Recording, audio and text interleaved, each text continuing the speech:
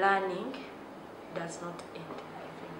And uh, in this main conference, uh, I was actually, uh, there are many experts, people who are involved in research, who, are involved in uh, using the, the, the available kits that we need in, in actually in doing our business. I came mainly to, to learn more of how I can improve, improve my production, improve my quality of my products, and uh, listen to way new methods, new things that I can use from the conference to take back to my business. You start, you are a businessman, and there are other people have their roles. There, for example, the researchers, for they will, they will educate you more. You can't know any everything.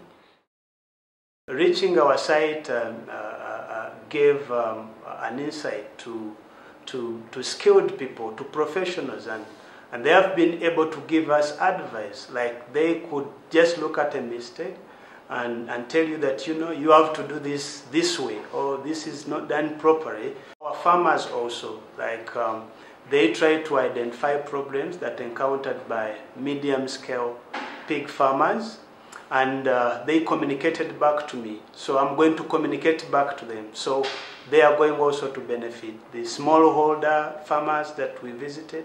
The information, all the information has been given to me, and I'm going to communicate it back to them. So it is really very, very useful. of course, was the tools that we, we, we went out to test in the field and then perhaps which are being reviewed to see how they can be more suitable. I think the tools are quite critical. Uh, I remember there was some heavy discussion just a few weeks ago as to whether the value chain approach is appropriate in a smallholder context. And I, my own belief is that yeah, it, this is a tool, and the tool depends on what you want to use it for.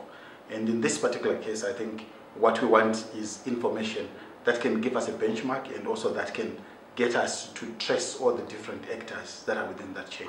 And I think practically using the toolkit that we, we got from EOL on the ground was quite a useful uh, experience that I got. I also got quite some very valuable uh, lessons from the EADD uh, dairy project that is happening in East Africa, uh, of which we then cemented the theory that they talked about with the field visit which we had yesterday, and where we had ample time to discuss with the participants in the in the in the dairy value chain, and there were quite some interesting lessons that came out of that. One of the places that we went to yesterday, a woman there said that um, there is no support from government, and um, I also discovered that in some places youths were not really really involved. One major reason I'm interested in youth advocacy is I just see youth. I see they are, I see that they are, they have so much potentials.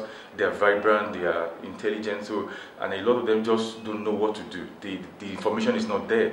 And uh, just as I always say that uh, agriculture as a whole is not attractive, at least in my part of uh, the world, as in Nigeria. But it needs to be rebranded. It needs to we need to make it attractive. And uh, and again, I also also let the youth know that you don't necessarily have to be a farmer if you are into ICT, you can come into agriculture because we can, you can use your knowledge of ICT to help us in, in forecast, in getting market accessibility, in uh, you know uh, uh, trying to also advertise our products online and so on and so forth.